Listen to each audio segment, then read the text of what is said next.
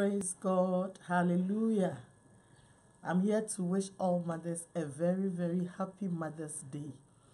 Thank God we are being recognized and remembered. In fact, mothers will continue to be remembered. Even if there is no special day set aside, the Lord doesn't forget mothers. Right from taking seed, carrying this child, the fetus in your womb. For some people, the nausea that is experienced, you know, the extra weight that we bear. The baby comes out and you nurture that baby. You take good care of it, you pray for the baby, you protect him or her. And once a mother, always a mother. You may be a mother taking care of a child that is not your biological child, son or daughter. I say thumbs up to you. You are doing what many will not do. And may the Lord bless you for it. Today, I just want to say thank you for being a mother. Thank you for being a mother to somebody. Thank you for showing a child the way. Thank you for wisdom. Thank you for allowing God to use you in your home and in the lives of children that you did not bear. May the Lord remember every mother listening to me. May the Lord grant you strength to continue. May the Lord grant you what it takes to pour yourself out into your children and into other children. I pray that, like the virtuous woman, your children will rise up and call you blessed. I pray that what you have not seen as a mom, that will boost your morale. The Lord will cause you to begin to see it right from this very time. I pray for strongest of health. I pray that you will prosper. I pray that you will prosper on all sides.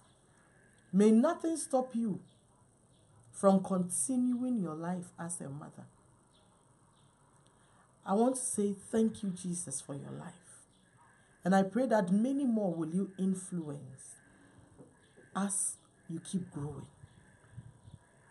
If you are a mother who is giving up, I want to encourage you. I want you to know that all hope is not lost. Your discouragement may stem from the fact that your children have gone wayward, they do not remember you.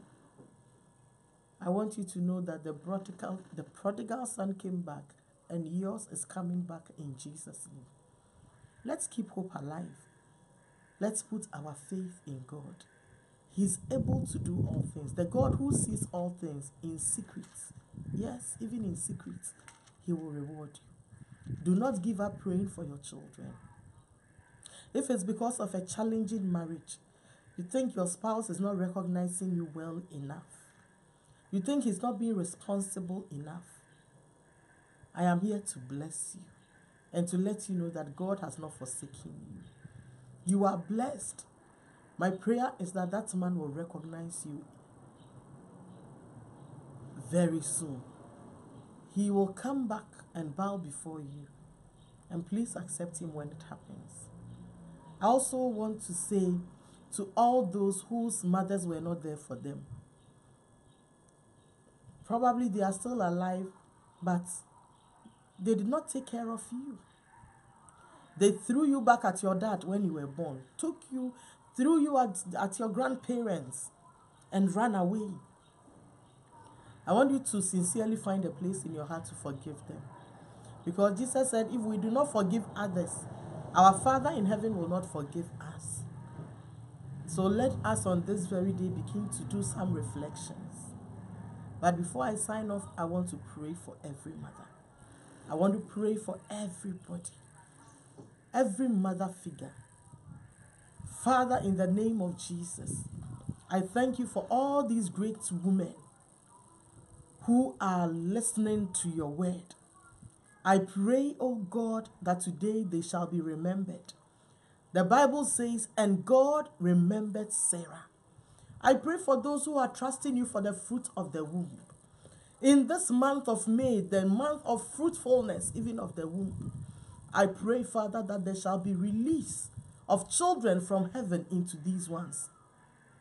We reject the, the, the, the reports of the enemy, and we are asking, oh God, that you will repair tissues that must be repaired. You will release from heaven a new unction to function in their lives and in their bodies. I pray for husbands and I pray for wives. I pray for the loins and I pray for the wombs.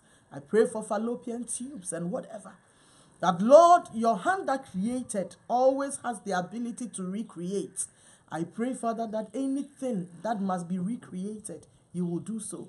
That on this Mother's Day, they will say, The Lord remembered me like Sarah. I pray for those who are already mothers but are finding it very challenging. I pray for them that, Lord, you will bring help to them.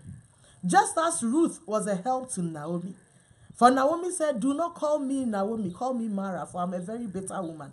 I pray for every bitter woman who is watching that, Lord, their bitterness shall be turned around, that they shall be pleasant from this very day because your hand is able to do all things.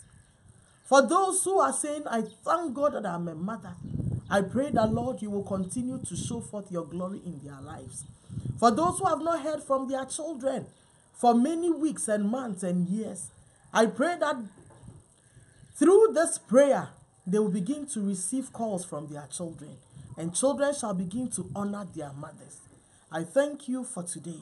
I pray for all others listening to me if there is any challenge whatsoever, I pray that the God who rules in the affairs of men, you will rule in their affairs. Thank you, Heavenly Father, for answered prayer. In Jesus' name, amen. Mama, you are blessed. I love you. God loves you. Keep doing all the good things you've been doing for, uh, for your children, and the Lord will never forget you. Sweet mom, God bless you.